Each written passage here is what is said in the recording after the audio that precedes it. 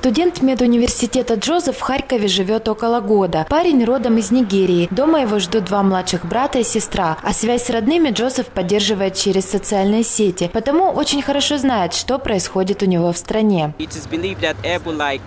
Мужчина из Либерии привез лихорадку Эбола в Нигерию. Говорят, что у него начали проявляться симптомы еще в самолете, и все пассажиры уже на тот момент контактировали с больным.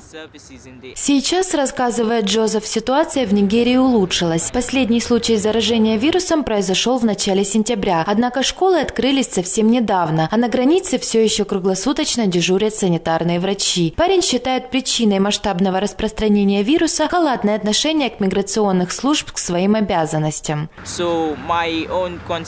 Мое отношение ко всей этой ситуации сейчас, если бы в аэропортах, морских портах должным образом проверяли пассажиров, то распространение эпидемии можно было бы избежать.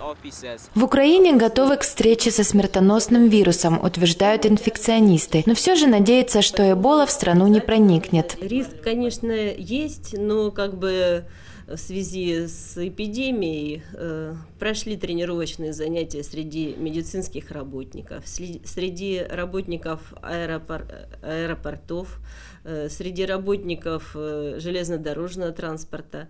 То есть как бы такие фильтры, изоляторы должны быть.